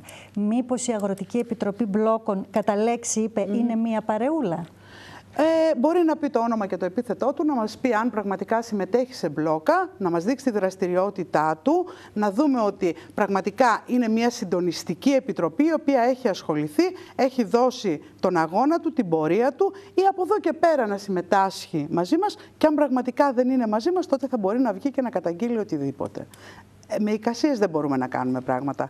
Όλα κόπισκτώνται τηλεφώνημα. Εγώ όφιλα να το, Βεβαίως, πολύ, να το και μεταφέρω, πολύ καλά κάνετε. γιατί το όφιλα και στον και τηλεθεατή. Και πολύ, πολύ και καλά να το κάνετε. μεταφέρω και με σε εσάς. Μας, με ευχαρίστησή μας πραγματικά άνθρωποι χρειάζονται για να στηρίζουν ε, την κατάσταση. Ναι, σε αυτό, σε, αυτό διαφο... ναι. σε αυτό συμφωνούμε και ναι, συμφωνούμε έτσι, απόλυτα. Έτσι και όσο πιο πολύ σε έναν αγώνα, έτσι, Ε, τόσο το καλύτερο. Από εκεί και πέρα, βέβαια, αυτό που, που είπε και ο τηλεθεατής, αν ναι. όντως ισχύει, εκεί είναι ίσως μετά, μπορεί αν αρχίσουν οι, οι παρεούλες, όπως είπε ε, και ο τηλεθεατής, εκεί μπορεί κάπου να, να υπάρξουν και αυτά που λέμε με την Κοιτάξτε να δείτε, κυρία Ηλιάδου, ε, εχθροί δεν είμαστε εκεί που είμαστε. Σαφώς μας ενώνουν πράγματα και μας ενώνουν αυτά. Παρεούλα δεν μπορώ να κάνω εγώ με τον κριτικό τον κύριο Μανούς, ο οποίος βρίσκεται στα Χανιά. Mm. Έχω μία συνάντηση στο μήνα, μία γενική συνέλευση και όταν προκύπτει πρόβλημα ας πούμε, σε αυτούς, καθόμαστε και το συζητάμε. Mm. Είστε, ναι, είστε απολύτως ναι, σαφή, κυρία ναι. Κριτικού. Ε, να έρθουμε στα, στα άλλα, τα οποία και σας διέκοψα και ήταν οι, οι υποσχέσεις που πήρατε mm -hmm. από τον Υπουργό. Ναι. Οπότε είστε ευχαριστημένοι. Να το για, πούμε... τις, για τις ανάσες που πραγματικά θέλησε να μας δώσει, εάν τις εφαρμόσει κιόλας, ναι. Όχι όμως ότι εντάξει λύθηκαν τα προβλήματα και είναι και λογικό. Τα προβλήματα συνεχώς μεγαλώνουν, οξύνονται, ε, υπάρχουν μπροστά Σωστά. μας. Ναι. Οπότε ας ελπίσουμε ότι σε αυτή τη φάση ότι όντως ε, θα γίνουν όλα έτσι όπως ε, τα συμφωνήσατε. Ε, Πρώτα-πρώτα για το, για το καλό όλων των, των ναι. αγροτών, την, για την οικονομία σας ε, και μετά και για το δικό μας, γιατί ε, βέβαια τώρα τα τελευταία ε, φέτος, ας πούμε, δεν το είδαμε αυτό. δεν, δεν κλείνουν οι δρόμοι πλέον, δεν υπάρχει ταλαιπωρία του κόσμου και αυτό είναι μέσα στα θετικά. Ε, θέλω να σας γνωρίσω διαφορετικά, κυρία Κριτικού, μιας και κλείσαμε το κομμάτι αυτό και με την mm χθεσινή συνάντηση. Ε, είστε μητέρα, ναι. σύζυγος, νοικοκυρά. Κάνετε δύο βάρδιες ουσιαστικά μη σας πω και τρεις με την συμμετοχή σας στο, ε, στην Πανελλαδική Επιτροπή Μπλόκων. Πώς γίνεται να τα καταφέρνετε όλα αυτά, πώς είναι για μια γυναίκα αγρότησα να συμμετέχει και να συγχρόνως να είναι και μάνα και να έχει και μια δυναμική παρουσία, ε, συνδικαλίστρια να το πω; Να σας πω να μην, να μην ας πούμε, πάρουμε σαν αποκλειστικότητα όλα αυτά τα κάνουν μόνο οι αγρότησες. Ε, πλέον η γυναίκα νομίζω ότι έχει, έχει κατακτήσει πολλά, πολλά, πολλούς τέτοιους ρόλους. Εγώ το έχω ζήσει βέβαια, γιατί η μαμά μου ήταν αγρότησε μια ζωή και Οπότε, ήταν κυρία Ηλιάδου, θα ξέρετε, και πολύ δουλευταρού. Θα ξέρετε πολύ καλά. Γνωρίζω πολύ καλά έτσι, έτσι. Την, πώς είναι να είσαι αγρότησα μητέρα. Πώς είναι να είσαι αγρότησα. Εγώ για να μην αδικήσω όλες τις άλλες εργαζόμενες γυναίκες από τα οικιακά, όχι τις επαγγελματίες γυναίκες ή τις γυναίκες mm καριέρας. Το αγροτικό κομμάτι όμως, δηλαδή και δεν θέλω να έχω πραγματικά να... γιατί ε, είναι βίωμά μου, είναι βίωμά μου και δεν ξέρω πόσο συναισθηματικό φαίνεται αυτό όταν μιλάω για αυτό το πράγμα. Είναι δύο λέξεις που κρύβουν πάρα πολλές έννοιες. Πάρα πολλές έννοιες. Ε, πιστεύω ακράδαντα ότι η Ελληνίδα αγρότησα είναι αυτή που κρατάει την ελληνική κοινωνία. Είναι αλήθεια, είναι στυλοβάτης. Είναι στυλοβάτης της ελληνικής υπαίθρου. Ε, θα πρέπει να κοιτάει, όπως είπατε, πράγματα που τα κάνουν και άλλες γυναίκες, τα παιδιά της, στο σπίτι της, να είναι εργάτης, να είναι εργάτης γης και συμπαραστάτης στον αγρότη άντρα της. Με αντίξωες συνθήκες όμως. κρύο, αντίξωες συνθήκες. Πολύ άσχημες συνθήκες για την γυναίκα αγρότης. Για το αν, θα είναι, αν ο καιρός δεν πάει έτσι όπως το περιμένουμε, μπορεί να χαθεί σοδιά. Ε, τι να σας πω. Αγωνίες. Άγχη αγωνίες για την αγροτική ε, οικογένεια γενικότερα. Για τη γυναίκα αγρότησα, επί 10 όλες αυτές οι επιβαρύνσεις, γιατί πρέπει να σταθεί στο σπίτι της και να κρατήσει και τον άντρα της και τα παιδιά της, να τα φέρει βόλτα όλα αυτά. Πέρα από αυτή την κατάσταση όμως, να ξεκινήσουμε λίγο και πιο παλιά. Από τις γιαγιάδες μας, από τις μαμάδες μας. Ένα απλό και χαρακτηριστικό παράδειγμα που υπάρχει παντού και το βιώνουμε παντού. Η ηλικία και η ταλαιπωρία των, των γυναικών που ζουν στον αγρό και παράγουν ε, φαίνεται στο πρόσωπό τους, φαίνεται στα χέρια τους, φαίνεται στο σκύψιμο της ε, μέσης τους, γιατί, προβλήματα αποκτούν μετά. Έτσι, γιατί πραγματικά είναι ε, διπλωμένες από την κούραση, από τον κόπο. Αυτή είναι η πραγματικότητα. Βέβαια έχουν εξελιχθεί τα πράγματα και εντάξει δίνοντας και ο, το κράτος και η κοινωνία τη δυνατότητα του εκλέγην, του εκλέγεστε, του να υπάρχει ας πούμε μια συμμετοχή Δεν στάνταρ. Δεν όμως πολλές αγρότησες έτσι να συμμετέχουν σε ε, είναι πάρα πολύ, είναι πάρα Πώς πολύ το δύσκολο. αυτό; Ε, πώς το εξηγώ αυτό; Θέλει επιμόρφωση και η Ελληνίδα αγρότησα. Θέλει επιμόρφωση, θέλει βασική και σταδιακή επιμόρφωση και η Ελληνίδα αγρότησα. Θα πρέπει πραγματικά να της δίνεται η δυνατότητα και αυτή να πάει στο σχολείο, να εκπαιδευτεί ε, σύμφωνα με αυτά που κάνει, που πρέπει να κάνει, στη δουλειά που κάνει. Βλέπουμε πολλές Ελληνίδες αγρότησες, νέες αγρότησες τώρα. Mm-hmm. Πολλές κτηνοτρόπε. Θα μου πείτε, είναι και θέμα ανάγκης πλέον επιβίωσης ότι κάθομαι στη γη, κάνω, έναν, κάνω μαρμελάδες, κάνω έναν αγροτικό mm-hmm. συνεταιρισμό. Έχουν δημιουργηθεί πάρα πολλά πράγματα. Βλέπετε έτσι, είναι πολλές νεαρέ ε, γυναίκες οι οποίες ε, έχουν πτυχία, πανεπιστήμια ε, ή έχουν μία άλλη μόρφωση και επιστρέφουν στη γη. Ε, είναι πάρα πολύ δύσκολη η δουλειά μας. Είναι πάρα πολύ δύσκολη. Αλήθεια σας λέω, δεν είναι εύκολη δουλειά. Είναι πάρα πολύ δύσκολη δουλειά. Δηλαδή, ε, δεν ξέρω αν το καταλαβαίνει κανείς, αν δεν έχει πάει στο χωράφι, αν δεν περιμένει να ζήσει από αυτό. Είναι επώδυνο. Είναι επώδυνο στο σώμα, είναι επώδυνο στην ψυχή, είναι επώδυνη η δουλειά μας. Όσο και να λέμε ότι εξελίχθηκαν τα πράγματα, ότι μιλάμε για γεωργία ακριβίας, για, για. Η αγρότησα πρέπει να πάει στο χωράφι. Η αγρότησα πρέπει να είναι στην αυλή της. Πρέπει να ανακατευτεί με το χώμα. Εάν δεν σπείρει, δεν πρόκειται να μπορέσει να επιβιώσει. Και αυτή και όλη, όλη της η οικογένεια. Όσον αφορά όλη αυτή την κατάσταση και η ανατροφή των παιδιών της και η στήριξη του άντρα αγρότη δεν είναι εύκολη σε όλη τη διαδικασία αυτή. Είναι δύσκολα πράγματα. Γι' αυτό και βλέπετε λίγες γυναίκες επιλέγουν το επάγγελμα αυτό. Και μην ξεχνάμε ότι μέχρι τώρα στις μικρές κοινωνίες μας, γιατί είναι αλήθεια, είμαστε, είναι πίσω από το σκηνικό, είναι πίσω από τους άντρες, είναι πίσω από την κοινωνία στην ουσία. Οι άντρες είστε μια ιδιαίτερα έτσι, δραστήρια γυναίκα, μια ιδιαίτερα δραστήρια αγρότησα και γυναίκα και μητέρα. Πώς σας αντιμετωπίζουν; Γιατί είστε, φαντάζομαι ότι δεν θα είστε πολλές γυναίκες στα μπλόκα. Ε, Εδώ λοιπόν, και χρόνια, κυρία ναι. Κριτικού, λοιπόν, στα ναι. μπλόκα. Εδώ και Παρέα, χρόνια, έτσι ακριβώς. Ε, στο, εκεί στο βαρέλι που καίτε τα ξύλα στις φωτιές, είναι 50, αγρο, 50 άντρες, τρεις γυναίκες. Εντάξει. Πώς σα αντιμετωπίζουν, Ούτε τρεις, κυρία Κριτικού; Ε, κοιτάξτε, ε, πλέον, πλέον αρχίζουν και συμμετέχουν, mm -hmm. έρχονται να είναι, να είναι καλά Πώς δηλαδή. Σας σύλλογοι. Κοιτάξτε να δείτε. Τίποτα δεν χαρίζεται. Κερδίζονται πράγματα. Ζούμε σε μια ανδροκρατούμενη κοινωνία. Δεν θέλω να το λέω, είναι μια αλήθεια. Εντάξει. Ε, καταρχήν ζω σε μια ανδροκρατούμενη κοινωνία μέσα στο σπίτι μου. Έχω τρεις γιους και τον άντρα μου. Λοιπόν, αυτό σημαίνει πολλά. Αυτό σημαίνει πάρα πολλά. Οφείλω όμως να ομολογήσω ότι υπάρχει στήριξη από την οικογένεια για να μπορώ να κάνω αυτά που κάνω. Ε, και από εκεί και πέρα, πραγματικά οι άνθρωποι. Πόλεμο δεχτήκατε. Πολύ μεγάλο, πάρα πολύ μεγάλο. Πάρα πολύ μεγάλο. Πόλεμο, ο οποίος όμως με κάνει νομίζω πιο δυνατή. Βέβαια, απογοητεύομαι πάρα πολλές φορές. Στεναχωριέμαι. Ξέρετε ότι δεν μπορείς να έχεις ως γυναίκα τις αντιδράσεις που θα ήθελες να έχεις. Ε, νομίζω όμως ότι οι άνθρωποι που έχουν παιδεία, οι άνθρωποι που πραγματικά ξεπεράσανε όλα αυτά τα μικρά ε, στίγματα που χαρακτηρίζουν ε, έτσι την κοινωνία μας, mm. ε, είμαστε καλά. Είμαστε σε πάρα πολύ καλό δρόμο, ε, συνεννοούμε πάρα πολύ καλά με πολλούς αγρότες, με πάρα πολλούς αγρότες ε, και πιστεύω ότι θα είναι ακόμη καλύτερα τα πράγματα στο μέλλον. Μακάρι, κυρία ναι. Κριτικού, σας το εύχομαι. Τελικά, ε, τώρα που, που φτάσαμε στο τέλος, αντιλαμβάνομαι ότι μας ε, φέρατε και πολύ ωραία, πολύ καλά νέα από την Αθήνα. Και να εφαρμοστούν όμως πρώτα. Ας ελπίσουμε ότι θα ναι. εφαρμοστούν. Και αυτό που μας λέτε τώρα, ότι η κοινωνία έχει ε, προχωρήσει πολύ και ότι πλέον δεν είναι τόσο, ε, δεν είναι τόσο άσχημο το να βλέπουν μια γυναίκα δεν το σχολιάζουν τόσο άσχημα πλέον το να είναι μια γυναίκα ανάμεσα σε τόσους άντρες και να προσπαθεί για τα αυτονόητα. Υπάρχει ιδιαιτερότητα στο χώρο γιατί να πολλές γυναίκες είναι μπροστά σε πάρα πολλά πράγματα όμως στη συγκεκριμένη περίπτωση πρέπει να γίνει κατανοητό. Ε, το θηλυκό γεννάει. Είναι νόμος της φύσης. Από τη στιγμή που γεννάει υπάρχει εξέλιξη.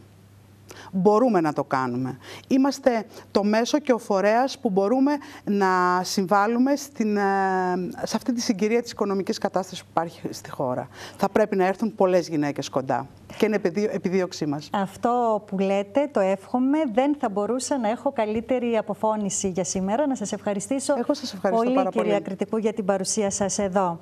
Εμείς ε, κάπου εδώ να ευχαριστήσουμε και εσάς που μείνατε παρέα μας σήμερα και πιστεύουμε ότι σας κάναμε πολύ καλή παρέα. Να ανανεώσουμε το ραντεβού μας για αύριο, 3 με 4. Μην ξεχνάτε ότι μπορείτε να δείτε όλες τις εκπομπές μας και στο site του σταθμού μας, στο flash, pavlatv.gr. Κυρίες και κύριοι, καλό σας απόγευμα.